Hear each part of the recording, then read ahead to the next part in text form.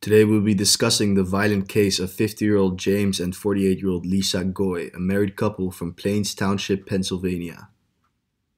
On the 1st of February 2021 at around 9:30 a.m., the Goys were shoveling snow outside of their house and appeared to be placing the snow on the driveway of their neighbor, 47-year-old Jeffrey Spade.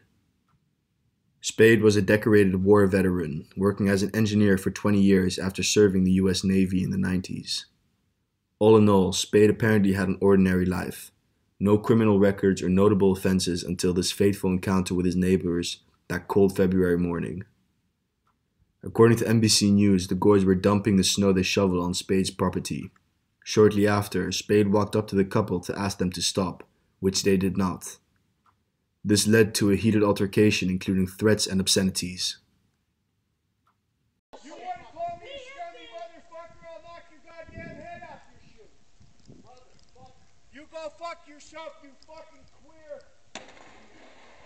Call me a scummy motherfucker. Step out here. I'll knock your ass out.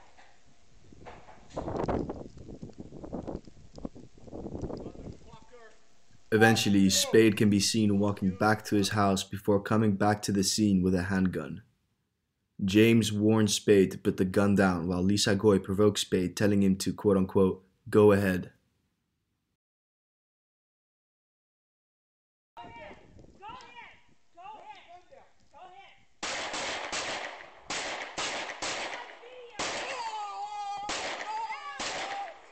Call the cops! Oh, You fucking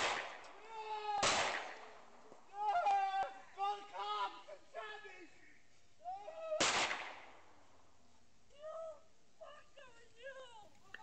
Jeffrey Spades then shot multiple times before hitting James first and then moving on to Lisa. James is seen fleeing towards his home, shouting for his neighbors to call the cops. Spade then proceeds to shoot at the couple multiple times, switching weapons during the process. The second time, Spade returns with an assault rifle to attack the couple once more. He then leaves the scene and shoots himself in his home shortly after with a third gun.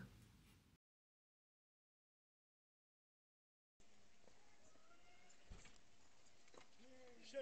kept your fucking. Pussy, huh? Both parties involved had family and friends who wished it had ended differently.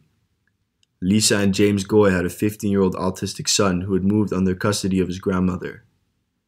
Whilst many people explained that the shooting of the Goys was inhumane and completely unnecessary, others defended Spades as the couple had supposedly been bullying him on occasions prior to this one.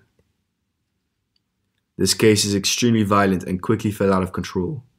I personally think Spades should have been arrested and that suicide prevented his deserved consequence.